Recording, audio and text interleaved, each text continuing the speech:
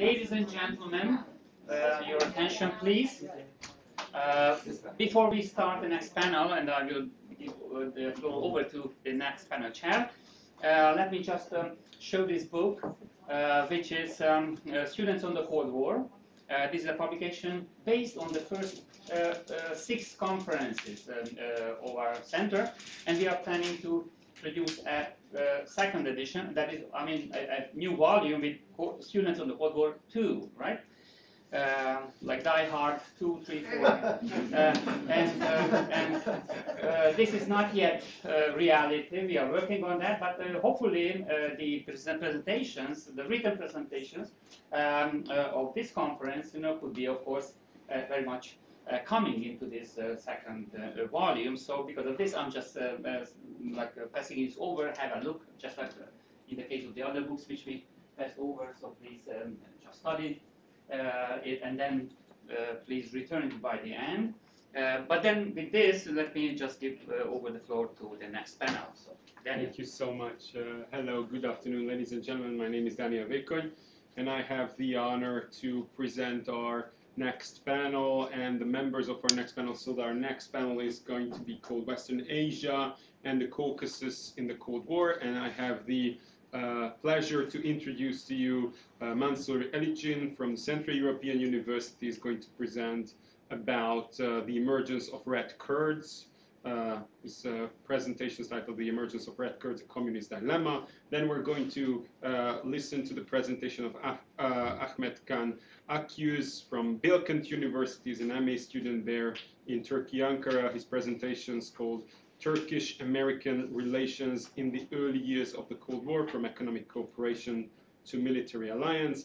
And last but definitely not least, we're going to take a look at the presentation of Dina Aldanova uh, from the Cold War Archives. She's a Cold War Archives Research Fellow under the Wilson Center, Georgetown University. She's an MA student, and her presentation is going to cover the April 89 events in Tbilisi, disparity uh, in dispatch. Thank you so much. And uh, I would like to give the floor over personally to Mansur Eliçin. Thank you so much. Uh, shall we turn off the lights? We can, of course. Yeah, thank you so much. Uh, firstly, thank you so much for having me here. Uh, today, I will be talking, I will be presenting about my research on the emergence of the Red Kurds, the communist dilemma, especially the Kurdish youth and student movement in Europe and their integration and kind of, kind of the cooperation with the uh, communist uh, parties and movement in Europe in the ten, first 10 years in, uh, of the Cold War. Uh, but actually my, my research for my MA is kind of a totally different topic.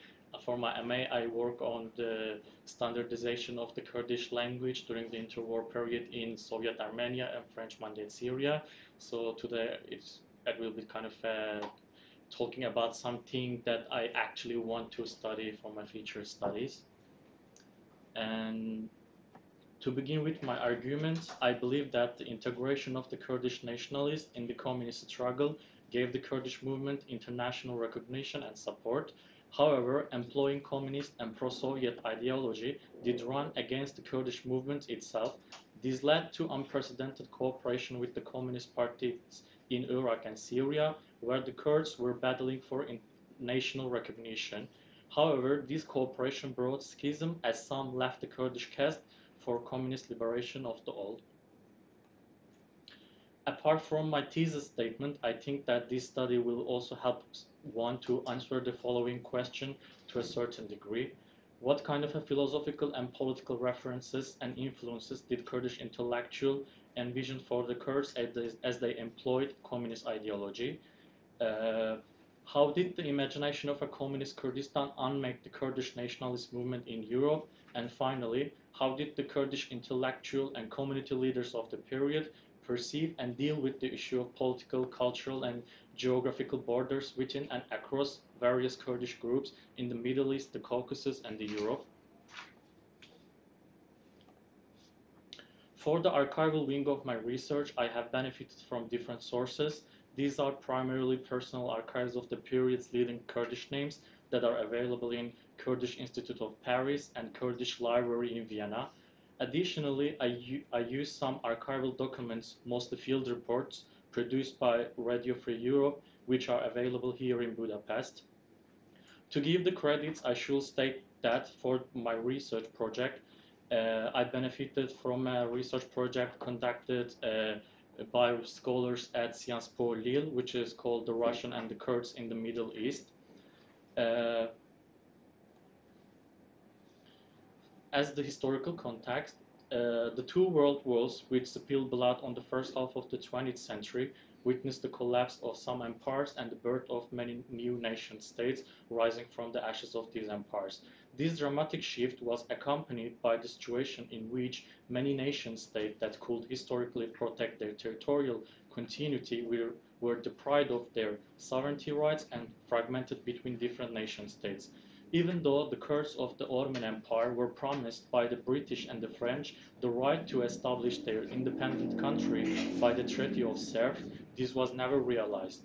After the victory of the Turkish independence war led by Mustafa Kemal in Anatolia, a new agreement was signed in Lausanne, Switzerland in 1923. By this agreement, the Kurds lost the chance to establish an independent Kurdistan. Their historical homeland, Ottoman Kurdistan, was divided between Turkish Republic, French Syria, and British Iraq. Although the Kurds in Turkey, Iraq, and Iran put up many different armed rebellions and resistances for their right to self-determination between the uh, two great wars, they could not make any gains during the interwar period. The Kurdish nationalist movement in Turkey rebelled against the Ankara government in 1920, 19, uh, 1925, 1927, and 1937. According to different sources from the period, during these rebellions, approximately around 50,000 civilian Kurds died, and a few thousand of them were forcefully relocated in central Anatolia uh, in, uh, for uh, assimilation policies. Especially after the revolt of 1925, Turkish government did ban the Kurdish language and identity. After the Kurdish defeat in 1937 uh, till the formation of Workers' Party of Turkey in 1960, a dark age for the Kurds started in Turkey. In addition to Turkey, three more political settings deserve special attention for the historical context. These are French Syria, Soviet Caucasus, and Iran.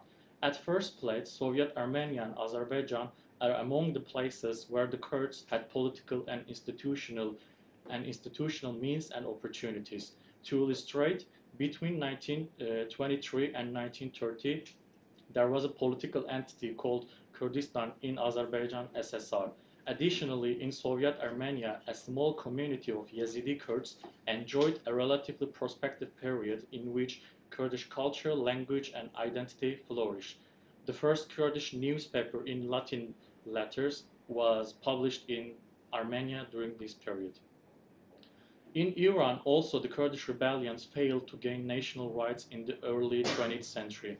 However, in 1946, thanks to the support of the Soviet Union, the Kurds succeeded to establish the Republic of Kurdistan. The self-governing and unrecognized Soviet satellite state did collapse at the same year after Soviet Union decided to pull out out of the northeastern Iran.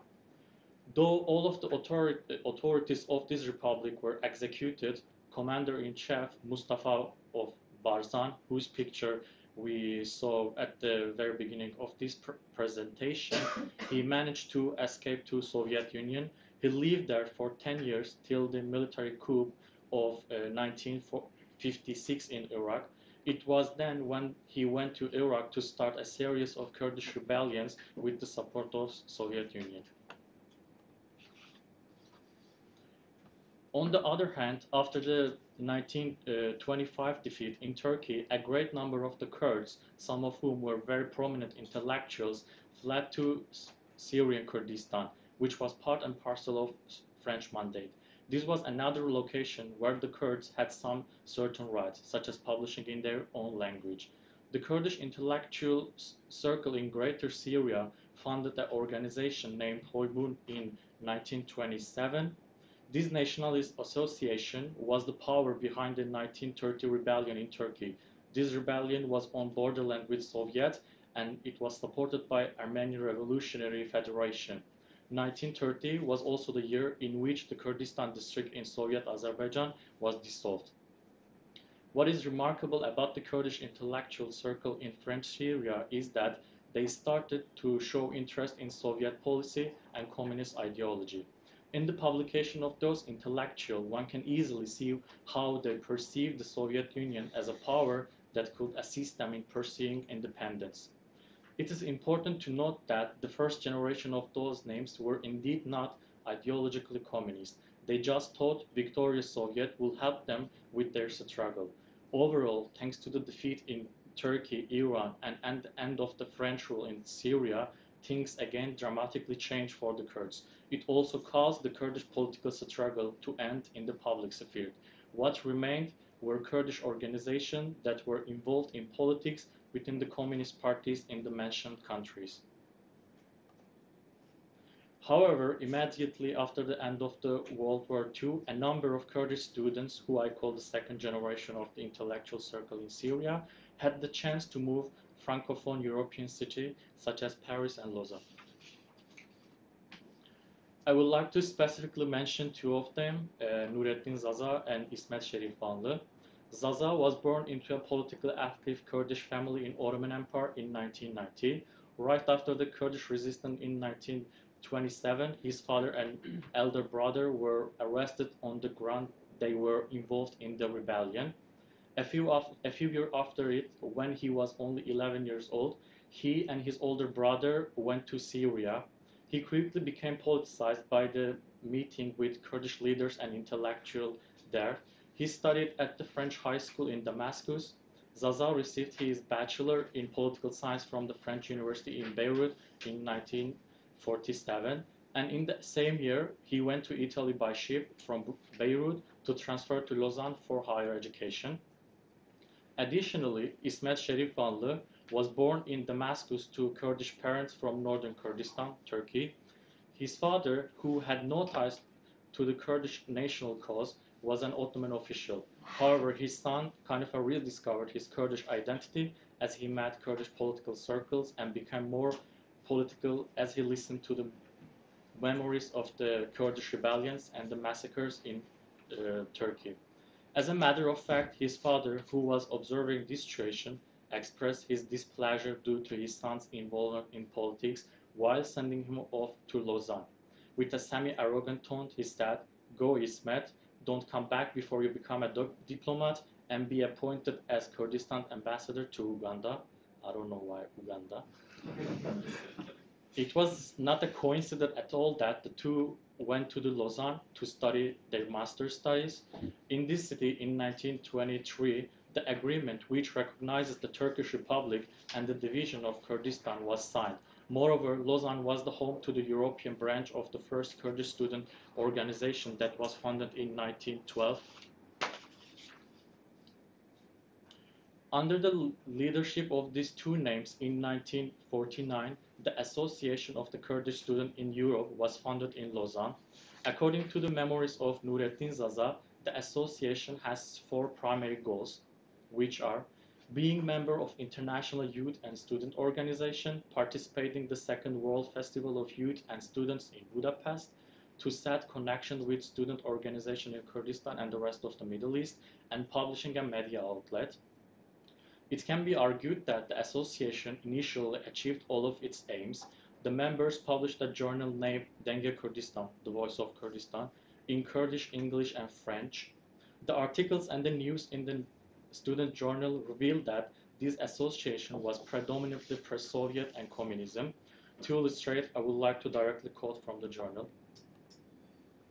The Kurdish people do not accept the Anglo-American military missions to establish bases of aggression against the Soviet Union in Turkey, which is the stronghold of peace and socialism. The Kurdish people are unquestionably committed to the democratic peace and freedom camp, which will save the world from war, banditry, and oppression. As we can see, they believe that Soviet Union was the power that could save the oppressed people, and they try to include the Kurdish uh, people into the greater international socialist community. The association also achieved its goal to participate the second World Festival of Youth and Students in Budapest. The motto of the outlet for this Soviet propaganda was national independence and a better future for the people, while the slogan of the Kurdish delegate was long live Mustafa of Barzan and the Stalin. The participation of the Kurdish delegate in the festival was also published in the journal. I will again directly quote from the journal's news concerning the participation. As our delegate spoke of the national rights,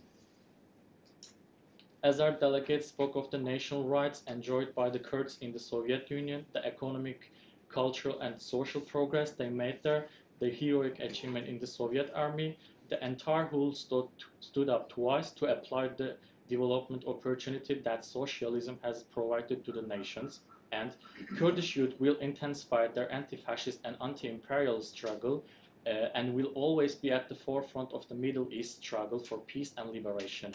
We will remain faithful to the oath, struggle for the peace and happiness of the people, which we took in August 28 at Hero Square in Budapest. Although it's not mentioned in the news published by this journal, from the personal memories of Nurettin Zaza, we know that actually the Kurdish delegate was not welcomed in Budapest. The Communist Party and the delegates from Syria, Iraq, and Iran did not want to be together with the Kurdish delegate, as the Kurdish students did want to speak on behalf of Kurdistan, not only the Kurdish people. This is why this is why Nurettin Zaza and his friend were accused of being saboteurs and agents by some. At the end, the Kurdish delegates managed to participate thanks to the leftist party from this South America. Namely, this was the first occasion was the Kurdish youth was criticized by the communists for deploying a nationalist agenda.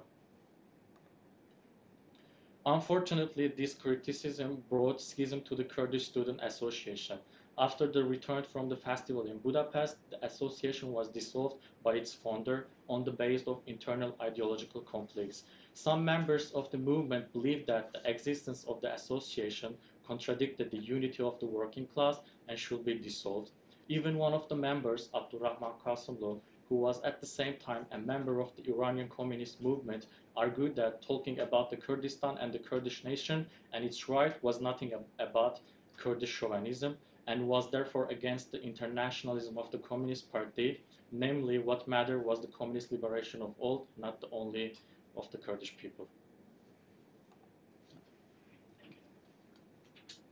After the dissolution of the association, the Kurdish youth was integrated more and more into the Communist Party, especially in early 50s as communist movement from Turkey, Iran, and Syria organized and organized in East Germany and started the radio broadcast. Some Kurdish students also broadcasted under the umbrella of these parties' movements in Kurdish language on the sake of the international struggles. Same in the uh, 1956, this time Zaza and İsmet Şerifanlı initiated the foundation of another student organization, but at the founding congress of this new society in the summer of 1956, almost the same conflict occurred within the, communi within the communi community as in the 1949.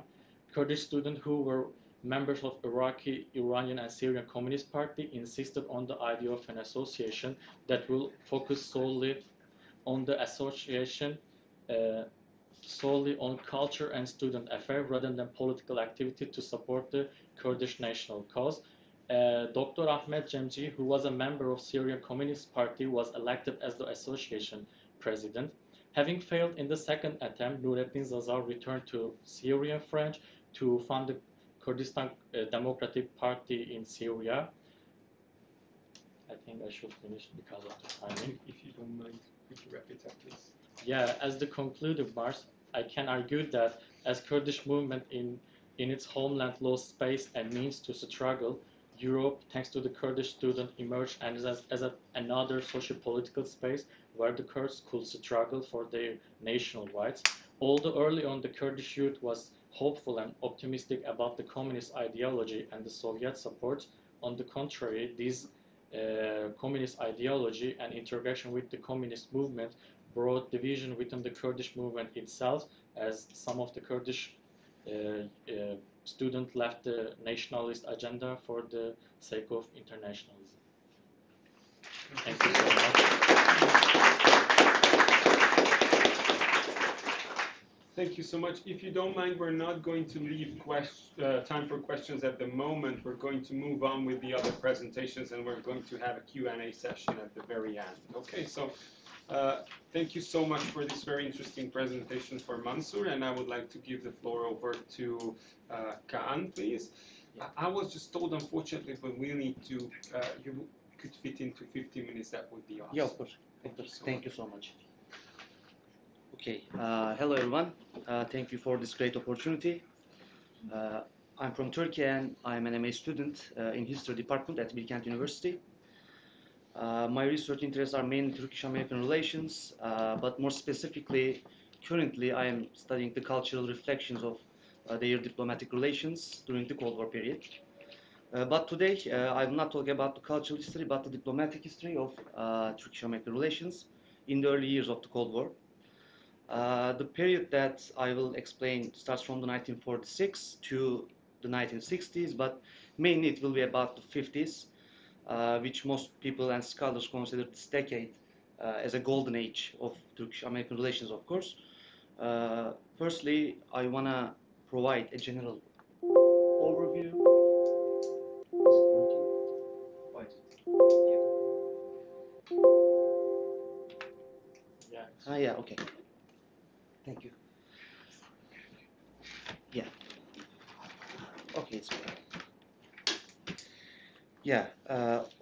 1945, 1946, uh, a famous American battleship USS Missouri uh, arrived in Turkey to bring the corpse of one of the most critical Turkish diplomats, Münir Ertegün, as you can see. Uh, he was the ambassador to Washington, D.C.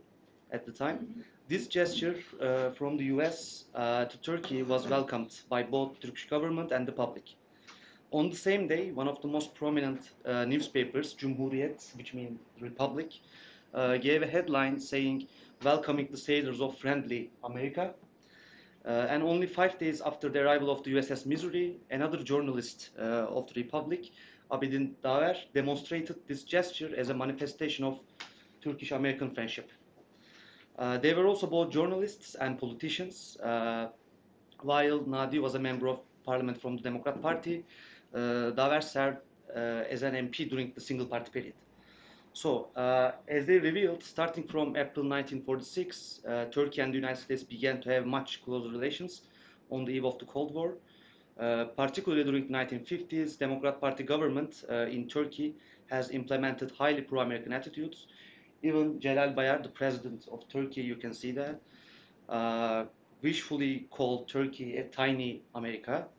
So, uh, from sending troops to Korea to becoming a member of NATO, Turkish decision makers, uh, led by Bayar and Menderes, sought closer ties to the West, especially to the United States, with the country's economic growth and military power. Uh, yes. Uh, first, I want to explain Turkish perspective, Turkish mindset for this cooperation.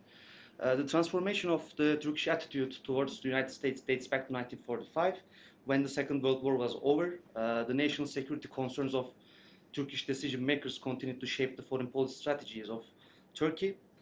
And uh, in 1945, the Turkish-Soviet crisis may be considered the most decisive factor from the Turkish perspective in the early years of the Cold War. Uh, for Turkey, the Soviets had an aggressive attitude towards them, more specific on the Turkish Straits. Uh, during the meeting between the Russian Foreign Minister Molotov and uh, Selim Sarper, he was the ambassador to the Soviet Union, it was advocated that Stalin had intended to take control over the Turkish Straits. So concerning this meeting, uh, there are two different explanations in the literature. Uh, some scholars uh, claim that the Turkish government, led by İsmet İnönü, created a myth uh, to ally with the West.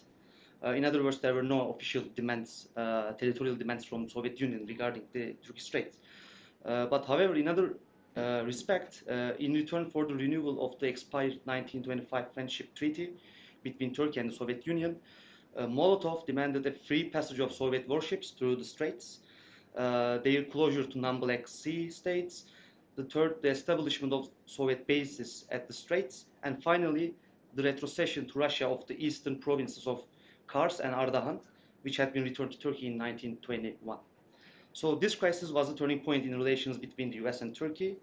cooperation with the Western Bloc, especially with the United States, uh, became necessary for Turkey to prevent Soviet threats. Uh, because the state's territorial integrity was at stake, uh, Turkey had to be a part of an alliance that could be able to provide security and economic assistance. So, the US perspective, uh, the situation was more complicated at first. Uh, Harry Truman and his advisors seemed ignorant of Soviet concerns and worried about Russian intentions in the Middle East, uh, especially Iran, Turkey, and Greece.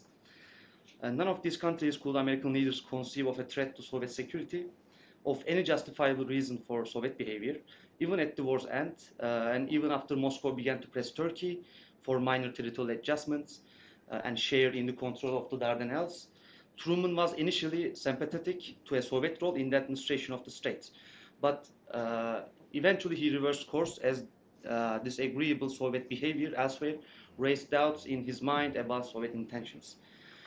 No American leader accepted the idea of a significant role in the Middle East. Uh, that was reason for the Soviet Union. Uh, the region was considered a British sphere, uh, and George Kennan found his government depressingly slow to understand Soviet objectives and needed to be firm in resisting Stalin. Uh, Kennan had been eager to contain the Soviets uh, everywhere in Europe, but it was Dean Acheson, uh, yeah, Dean Acheson was the one who had been particularly troubled by Soviet pressures on Turkey. He knew that Turkey and Iran would follow if Greece fell into their hands. Uh, a crisis in Greece in which the British uh, had lost the will and lacked the resource to manage provided the opportunity to apply and explain what came to be known as the containment policy, as you all know. So uh, in February 1947, uh, when Britain officially informed the US that they could no longer support the Greek government, Marshall's team was ready, as was Truman congressional leaders were called to the White House, where Marshall uh, explained the situation in Turkey, described the inability of the British to play their historical role in the region, and asked for an appropriation of the funds necessary for the U.S. to take over. $400 million of economic aid was provided for Greece and Turkey, but initially only 12% of the total assistance was allocated to Turkey. Despite this, the doctrine of Truman was welcomed by the public Headings of two leading newspapers, again the Cumhuriyet, uh, the Republic, and Gece Postası reflect the excitement of Turkish people and more importantly mention that Turkey chose to integrate into the Western Bloc on the US side. So, yeah, uh, after the economic cooperation between the US and Turkey, the early Cold War dynamics rapidly continued to shape their relations.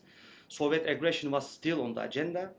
Uh, it was the top priority among Western powers, and economic development was not enough for Turkish decision makers. So military intimidation from anti-communist bloc for Joseph Stalin was needed, according to Turkey. Uh, on 25 June uh, 1950, the war emerged in Korea. So to demonstrate their commitment to the Western camp, the Democrat Party government, led by Adnan Menderes, uh, announced the dispatch of a Turkish brigade of 5,090 men to join the UN forces. Uh, this action, by the way, was one of the most uh, highly disputed issues uh, in the Democrat Party period in Turkey because there was a common view that uh, this war should not be case of case for the Turkish military. Uh, but on the other hand, sending troops to the Korean War has provided a way to join NATO. In other words, Menderes and Bayar took the advantage of the situation to achieve its purposes. And by the way, uh, this purpose was also the main aim of the Inönü government before the Democrat Party. So therefore, Turkey has initially sent uh, 4,500 military personnel to Korea, and this was the second largest number among 15 states. For this reason, uh, Turkey was still arguing that uh, the commitment to the West had been proven, and Turkey deserved to be a member of NATO. However, the problematic aspect of this process was not only related to the United States. Great Britain was literally against uh, Turkish membership because they actually had a different plan uh, regarding Turkey, and it was a military uh, cooperation in the Middle East. However, uh, despite Britain's efforts, uh, Turkey's only wish was a total military alliance, so their proposals were rejected by Turkey. So this rejection, uh, rejection accelerated the membership process of Turkey. And in May 1951, President Harry Truman decided to press for the admission of Turkey as a full member of NATO. So from the US perspective, Turkey's effort to join NATO and demonstrate its loyalty to Korea were not the only reasons, of course, for this admission the military capacity of the Soviets uh, increased in the early years of the Cold War. Uh, and in the National Security Council, the United States reported that the Soviet Union would have the ability to use nuclear weapons against the US and its allies. Therefore, Turkey should have also been a US military base uh, because of its location. Uh, also, the geopolitical position of Turkey was also a threat to the other member states of NATO. If Turkey was influenced or invaded by the Soviet Union, uh, the security of the whole European continent could also be at risk.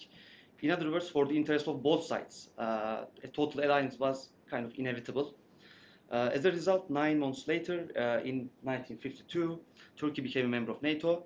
Through the admission of Turkey, we can say that uh, the economic cooperation uh, eventually converted to military alliance. So, uh, at the end of the process, uh, when Turkey became an active player on a Western bloc against the Soviet Union, it can be claimed that Turkey also lost its proactive neutrality during the Second World War which led Turkey to emerge as a non-belligerent state and prevent devastation.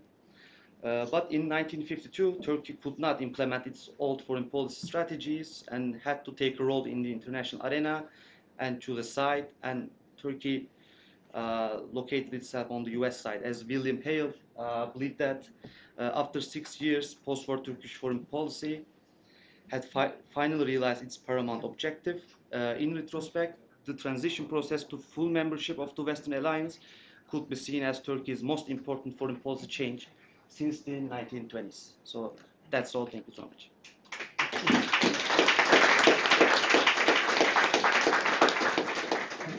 Thank you so much for being able to keep the time and for this very interesting insight into uh, Turkish foreign policy uh, in the first stages of the Cold War. And let's now turn our attention to Dina Aldanova, please. Uh, good afternoon, everyone. First of all, I would like to thank uh, the Wilson Center for this wonderful fellowship opportunity, uh, Victoria, Chuck, and Christian, uh, the Open Society Archives for a warm welcome during the last week, um, and of course, Corvinus University for hosting us here today. Uh, so the title of my project is April uh, 89 Events in Tbilisi, Disparity in Dispatch, and today I will talk uh, about the media coverage of protests that happened in Tbilisi, Soviet Georgia, uh, on the eve of collapse of the Soviet Union. Uh, during my presentation, I will first talk about my research design, briefly discuss the methodology, outline historical background precipitating the events, and focus on the media coverage of the protests themselves. Uh, to give a brief context, uh, uh, what happened back then, almost 9,000. Uh, according to uh, local Georgian sources, 15,000 people went to streets and protested in front of the government building at Rustaveli Avenue during the night of April 8th. Soviet troops were introduced in tanks, and the Soviet army used tear gas, gas against the protesters. And as a result, 19 people died and hundreds got injured. Um, so following the pace of reforms um, and a sequence of political unrest uh, that emerged in the Soviet Union during the era of perestroika, uh, why should we care about Tbilisi? Uh, what makes it an interesting case study? And I would like to uh, quote uh, Yegor Ligachev, who is the head of the who was the head of the Central Committee Secretariat of the Communist Party of the Soviet Union. He stated once that none had political reverberations equal to those of the Tbilisi affair, and no other incident was investigated by so many commissions. So, despite the abundance of data about Tbilisi events in comparison, for instance, to uh, Almaty protests that happened three years earlier, um, and all the information was just destroyed, Tbilisi affair in Georgia uh, still represents a puzzle.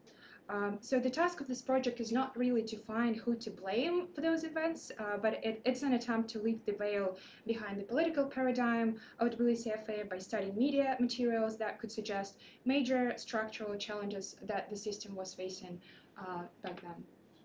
Uh, so the question uh, I'm trying to answer is uh, what, what, does the April 9 incident in Tbilisi in 1989, its coverage in central, local, and foreign media, members of the Politburo members tell us about the lines of communication between the center and the periphery amid the late uh, era of perestroika.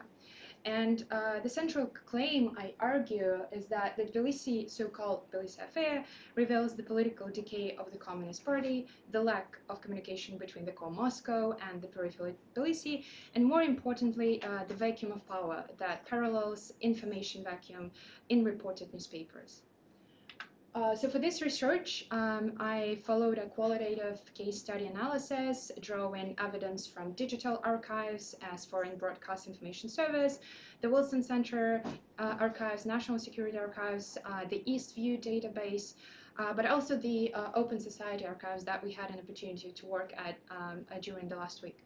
Uh, so the, the, media sources include some central uh, Soviet newspapers, local Georgian newspaper, Western media sources, but also published oral histories uh, and memories of Politburo members such as Anatoly Strunev's diary, Gorbachev's, Ligachov's, Shevardnadze, and of course uh, uh, memories about the uh, end of the Soviet Union.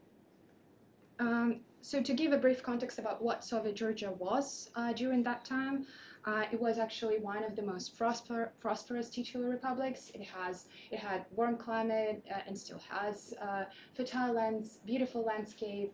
Uh, it was a popular vacation destination for many Soviet elites, and we can think that definitely Georgia had higher standards of living in comparison to other republics. And one might uh, assume that this prosperity might have increased confidence uh, that Georgia can thrive with, without Moscow. Uh, but that would be, however, misleading because Georgia's case is much more nuanced and complex, and that it relates mostly to the multi-ethnic rivalry within the republic itself. Um, the, the period of perestroika showed the major essence of the Soviet society, its plasticity, um, and absolute conformist nature, over 70 years of communist experiment, the totalitarian practices of the state completely transformed the people into a flexible material that intuitively adapted to new conditions. Um, and uh, as Archie Brown argues, it was not so much a case of crisis forcing radical reform as of radical reform generating crisis. Uh, so following this period of democratization introduced by Gorbachev's reforms, Abkhaz autonomous uh, socialist Soviet uh, republic tried to demand the status of the Soviet Socialist Republic. So they wanted mainly to attain the status of a titular nation equal to Tbilisi and thus aspire to uh, alienate from, uh, from the center. Uh, so Georgian nationalists, um, in, in particular, in particular, the so that was the Lykhny Declaration uh, that was um, established in March 1989. That was the trigger to the April events in Tbilisi.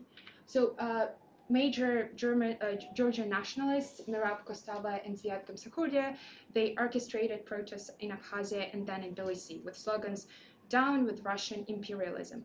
On March 20 and 23, the local Georgian newspaper Zarya Vostoka reports the mass demonstrations of protests against Abkhazian separatism held by Georgians in Sukhumi, Tbilisi, and Kutaisi.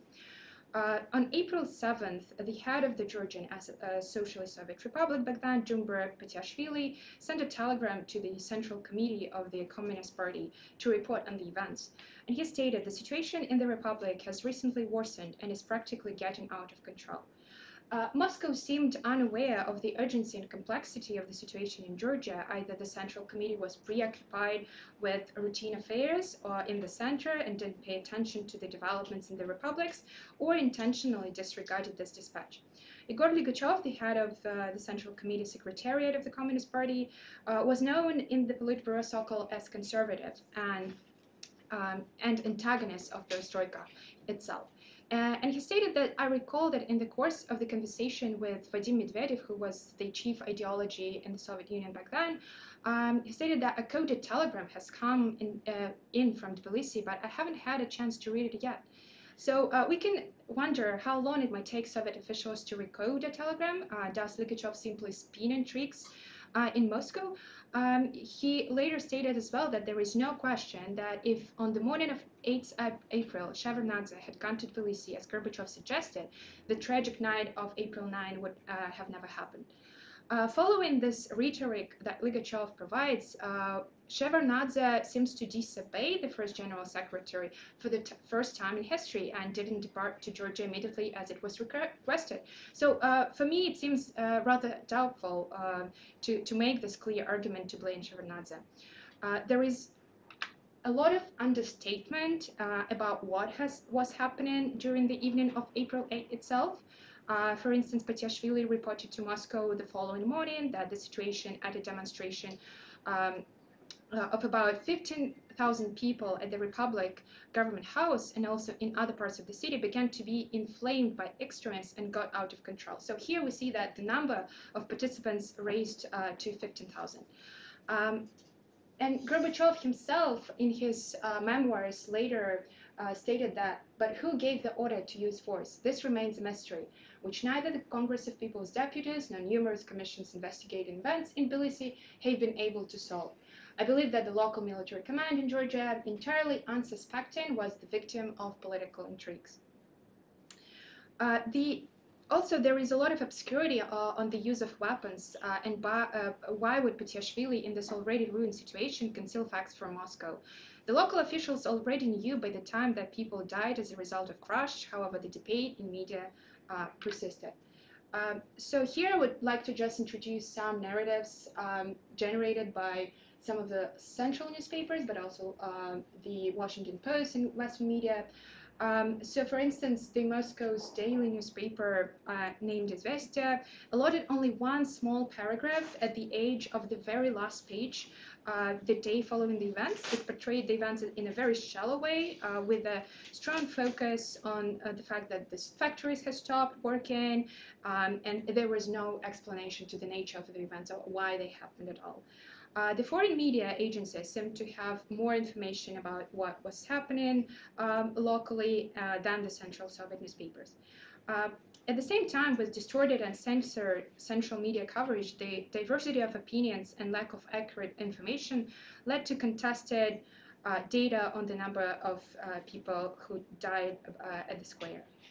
And as a result of this information vacuum, several theories, speculations, and rumors emerged.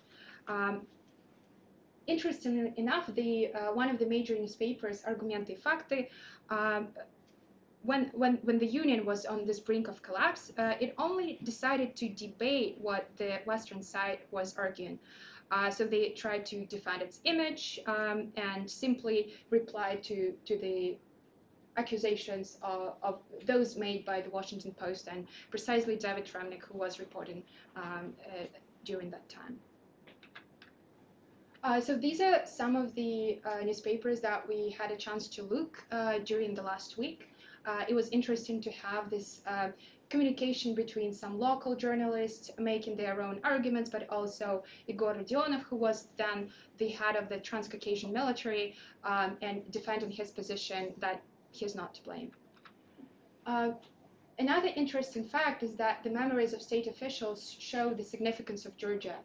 Um, and I would like to quote, uh, uh, Georgia is a sign of destiny. If a Christian nation loved by the Russians, with whom we have lived in perfect harmony for more than 200 years, fought together and truly respected each other, wants to leave the USSR, does that mean something? There is no longer the Baltics where everything is clear. Um, here, Gorbachev sometimes says unexpected things, for example, about the Georgian authorities, who put in their pants and sent troops to the people. They cannot think in a different way. And different way meaning the perestroika and democratization and policy of new thinking. Uh, so there is a huge circle of blame um, here on the left side, Igor Rodionov, then Shevardnadze, Anatoly Sobchak, who was the head of the commission that was investigating uh, the Tbilisi affair. Uh, we, we, we can hear some different other surnames, uh, like Patiashvili, uh, uh, who the local media is extensively blaming for those events. So there is no real uh, vision who, who was to blame. But as I said, it's not really the focus of my uh, research. Um, it rather unveils the dismantlement of the Soviet system, the political intrigues that the Communist uh, Party apparatus had uh, during the, the era of perestroika, and the, we can think that the structural decay actually led to the union's collapse. So the bloody spring at Tbilisi in 1989 elucidates the structural disintegration of the Communist Party and lack of communication between the core Moscow and the periphery Tbilisi. Uh, it also suggests that the longevity of the system was tied to the uh, longevity of the Communist Party itself. Uh, so from, from being a very totalitarian state, uh, very bureaucratic, it ended up to just a mass of uh, political intrigues and um, uh, accusations within the party itself. Uh, we also can think that the information vacuum that was in, persistent in the media suggests that the nationalist narrative, what was an anti-Abkhaz movement, it turned into an anti-Abkhaz struggle. So the media, for instance, that was from June and December, later during that year, only only focuses on this anti-Soviet struggle, and everyone forgot forgot has forgotten about the um, the inter-ethnic rivalry eh, within Georgia itself. Uh, so the vacuum of power uh, created this opportunity uh, for for for political intrigues and the ambiguities of 1989 served as a platform for new elites to break down the union. And Thank you very much for your attention. Um, we are looking forward to it.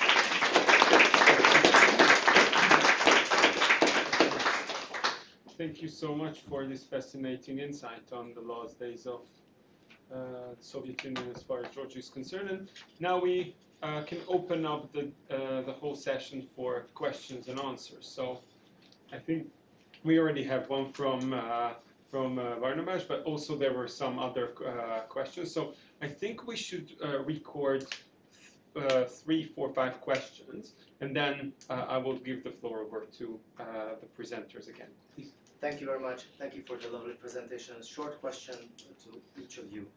Uh, to Mansur, uh, you mentioned radio broadcast in Kurdish from East Germany, correct?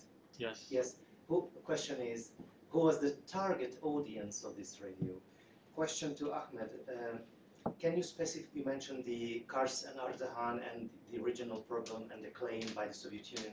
Can you specify uh, uh, uh, this issue regarding the topic you were talking about? What was its role in this case, in this dispute? And question to Dina, uh, can you specify the, the role of the Western media regarding the, the events? What I mean here is the it seems that the local media was quite well prepared for it, well, uh, was ready to report on the issues. But my question is, was the Western media present? Surely it was. You you, you, presented uh, Washington Post and stuff like that. So how well prepared were they for the event? Thank you. Thank you so much. There were some other questions in the back. Yes, please. Um, I had like uh, three questions for Dina, but like uh, my first question was just uh, uh, asked, so it's perfect. Um, oh, thank you by the way for the panel. And uh, but I'm sorry, guys, I'm just going like little bit uh, my fellow colleague from uh, CWAR. Um, so you, you mentioned that at some point it was Gorbachev was like kind of flabbergasted, we can say, about this. And interestingly enough, like there, is, there was a documentary with the like Werner Herzog uh, meeting Gorbachev and at some point, he uh, he asked like the question to Gorbachev, and it seems like you know you have like what he said, but you have also like his like body uh, language, and he was like pretty upset about this. So, um, so I would like like to know exactly what you think his feeling, like his full feeling was, because you gave us like a, an excellent quote. And the other one is like uh, you mentioned like the kind of like asymmetrical slash disconnection Moscow and Tbilisi, especially like the regime in Tbilisi and, the regime in, in Moscow. Um, can we say, can we see like a sort of like, I'm going to try to phrase it even better like in my head. Uh, can we see like a sort of, uh, at that period of time in 89, uh, a sort of like completely disconnection because we were like probably at the end and Gorbachev was not like that popular in the head of like some uh, local leader. Um, and my the comparison that I had like immediately when you were talking about this without like pushing the, the, the comparison too far was with Berlin in 1961 because some people said like oh you know like uh, Soviets are coming they are building the wall and everything but they forgot like East Germany was like more uh, as like a stronger appetite so in that case can we see like a sort of like you know inverse like role of seeing like we are like almost at the end of like the, the, the Soviet Union and like those local are uh, playing like really a hardcore like um, uh, policy in order like to maintain themselves like in power and with Moscow it was not like buying that like completely. Sorry for the long question. My apologies. Thank you. Thank you. And there was one more question over there. Yes, sir. Yeah, um, for Mansur, so I'd like to ask a longue durée question, because you um, spoke about a period when the Kurdish movement was very much influenced by Marxism and the communist movement. So what do you think, how did the movement evolve from that time you studied until the present day? Because I'm not a big expert, but I'm seeing that if you see, if you look at O- O- later uh, writings, he seems very much influenced by Bookchin, so that he has reached a sort of democratic confederalism, and I do not know how much this has to do with his, this previous uh, communist or Marxist uh, background. So I'm curious uh, about a longue durée opinion. Thank you so much. And uh, I would like to give the floor over to Dr. Bekish as well. Uh, just one short comment again, and uh, this is about uh, Turkey. Uh, you mentioned um, the Turkey's position in the Second World War as a proactive neutrality, which is absolutely true for the uh, most part of the Second World War. But it is very often forgotten that actually Turkey did enter the war in February 1945, and it's uh, overlooked in, in many ways. And that's how Turkey actually was uh, becoming an, an allied power, and uh, uh, that was not a big, uh, uh, not not a small thing to achieve because they would they were actually uh, neutral throughout the, the war, but in the very end they were under pressure to join, but they didn't. Uh, but in February they actually uh, gave in, and by this they actually bought the membership in the United Nations. Uh, so this is just a fact, you know, it's nothing to uh, comment on, but, but this belongs to the story, so this always has, has to be added, I, I think. Thank you. Yeah, thank you. Thank you so much. In that case, do we have any further questions? If not, I would like to give the uh, floor back to you. Okay, thank you. Uh, thank you for the question. To start with the targeted audience, I think the issue of targeted audience of these radio broadcast is a bit problematic. It is because uh, these radio were mostly kind of the uh, student radio, and they were not, you know, broadcasting widely. And even for the Kurdish part, uh, Kurdish student in Europe, they didn't have their own radio. Uh, they kind of the broadcasted under the umbrella of the Communist Party of Iraq, Iran, and Syria. In that case, uh, thinking that we don't have the records and the archives of this radio broadcasting, uh, we only know that at some times in East Germany there were some Kurdish radio broadcasting. That's it. But for the same time in Soviet Armenia, the Armenian uh, Communist Party established a, a radio broadcasting in Kurdish, and that one is much more important uh, for the general Kurdish history, cultural wise.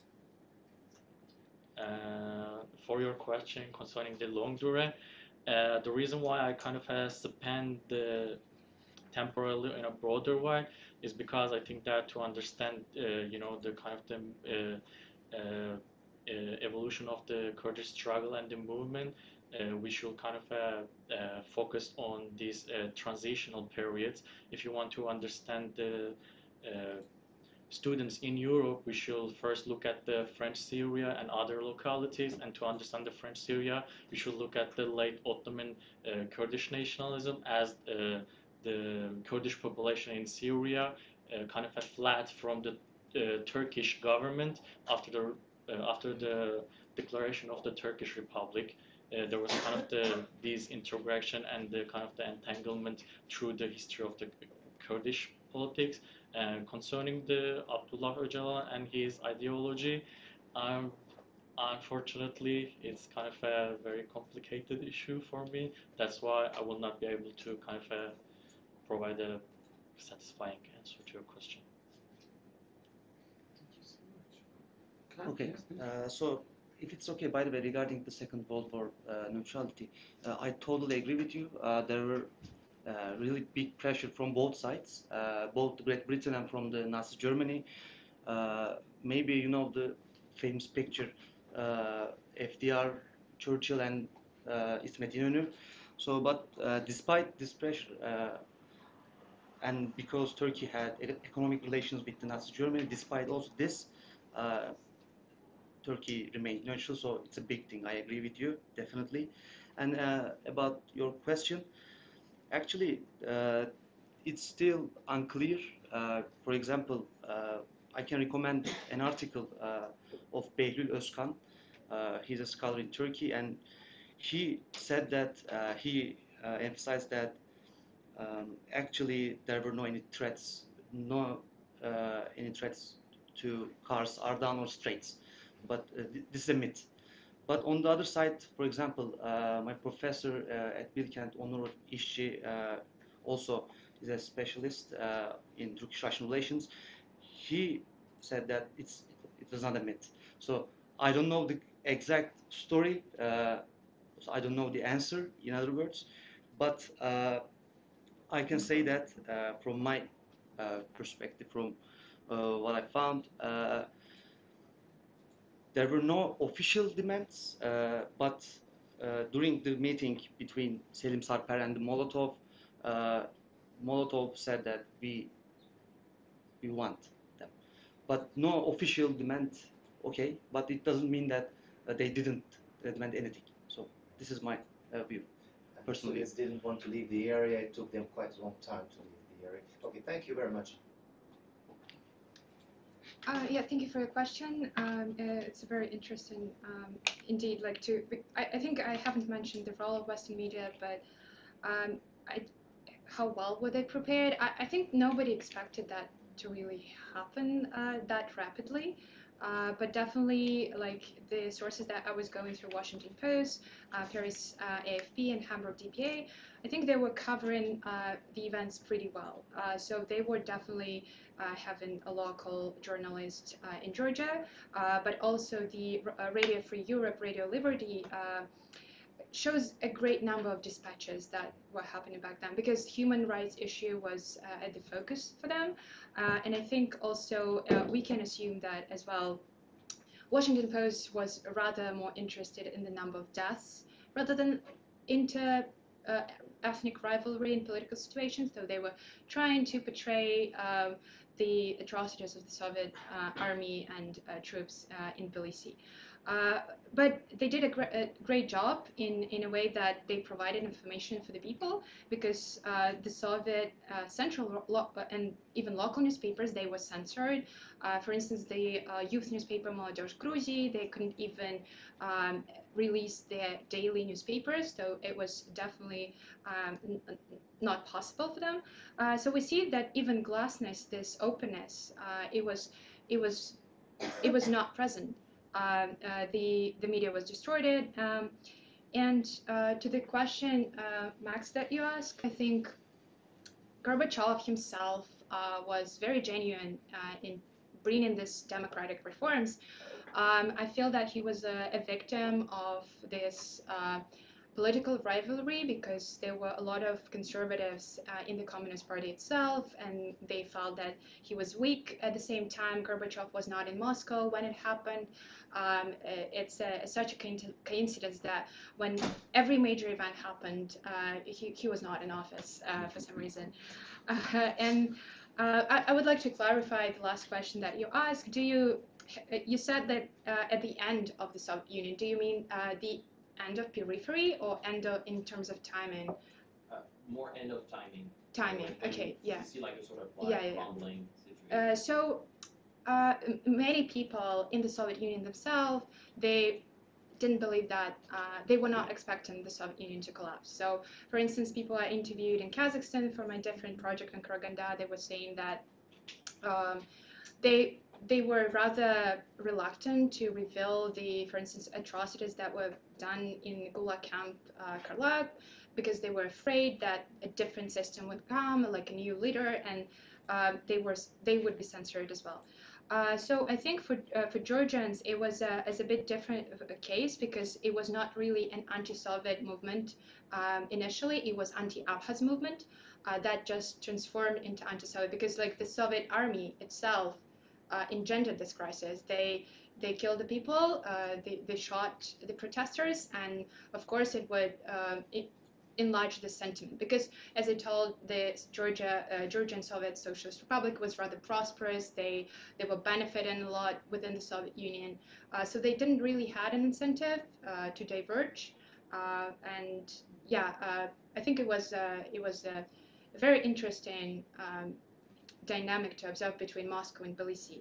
Um, and what you, you were asking about asymmetrical, um, what was that about? The- Oh, yeah, it was like asymmetrical relations because you, you can see like sometimes in the Soviet Union, it's not like completely uniform, uniform block. Yeah.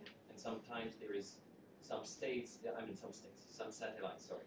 Some satellites who are going to ask like more from Moscow, less from Moscow, Moscow is going to ask more. And I made like this comparison, and I'm sorry if it's a brutal like comparison because 61 and then 89 were different period, Mhm. different leaders and everything.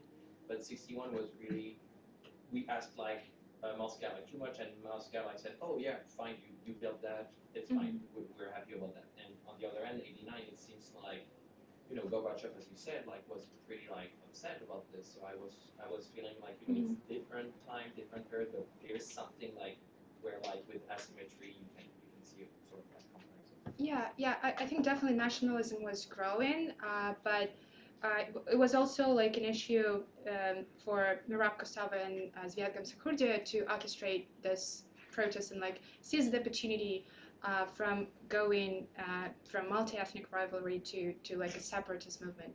Um, yeah, uh, we can talk about it later. Okay. Yeah. Like, Uh, Before we wrap up this session, I just want to ask uh, if there is any further questions that may be uh, stuck in you and you would like to let it out, or because if not, then maybe people are just waiting to carry on this conversation in the framework of a lunch break. So in that case, thank you so much for this presentation.